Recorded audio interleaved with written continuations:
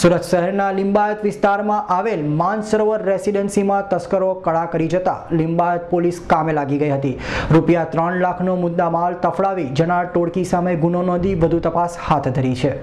લિંબાયત વિસ્તારમાં તસ્કરોને મોકળું મેદાન મળી ગયું હોય તેમ રોજબરોજ તસ્કરીના બનાવ સતત વધતા રહે છે. આવી એક ઘટનામાં પરિવાર શેરડી ફરવા ગયા હતા તે દરમિયાન તસ્કરો પહેલા માળે ઘરમાં પ્રવેશીને રૂપિયા ત્રણ લાખનો મુદ્દા માલ લઈ ફરાર થઈ ગયા હતા, જેમાં દસ તલા સોનું અને ચાંદીનો સમાવેશ થાય છે પ્રથમ તો લિંબાયત પોલીસે ફરિયાદ નોંધી નહીં બાદમાં જ્યારે માલ સામાન ખસેડી લેવાયો ત્યારે દસ કોટ લાવી તપાસ આદરવાનું નાટક કર્યું हम रहते हैं सी तीन सौ पैंतीस मानसरोवर सोसाइटी अ, सु- गोड़ादरा सूरत क्या हुआ है आपके घर में किस तरह के हमारे घर में चोरी हुई है दस तुला सोना व चांदी पैसे सब लेके गए लूट मार करके गए हैं कितनी तारीख को चोरी और किस तरह हुई पाँच तारीख को चोरी हुई। हम पा, पाँच तारीख को रात में साढ़े दस बजे शिरडी गए थे मेरे जेठ जेठानी जो हम ऊपर रहते हैं देवर जे, जे, देवर और में।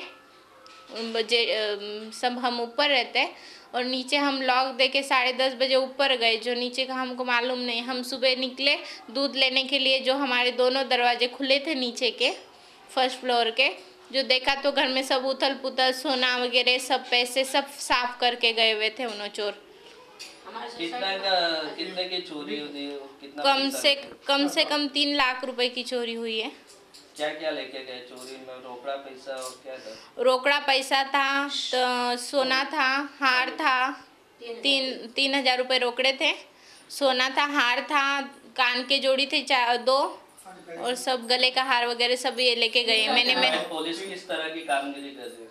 पुलिस तो अभी आई फ़र्स्ट दिन जो खड़ी थी दो तीन घंटे जिस दिन हुई चोरी वो दो तीन घंटे खड़ी रही वापस चले गई।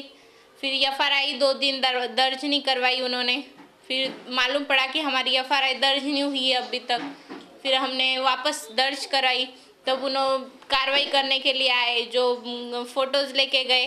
फ़ोटोज़ लेके गए, उसके बाद में उन्होंने सब हमको, आवरने को बोला।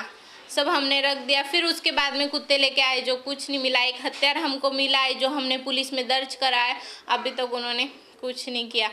अत्र उल्लेखनीय है कि लिंबाद पुलिस ने દિવાળી દરમિયાન સંગન પેટ્રોલિંગ કર્યું હોત. તો ચોરીની ઘટના થાત જ નહીં, પરંતુ લિંબાયત પોલીસ દારૂ અને ભંગારના હપ્તા ઉઘરામાં વ્યસ્ત હોવાથી કોઈ પ્રકારે ગુનાખોરી ડામી શકવામાં નિષ્ફળ ગયા છે. Bureau report Surat.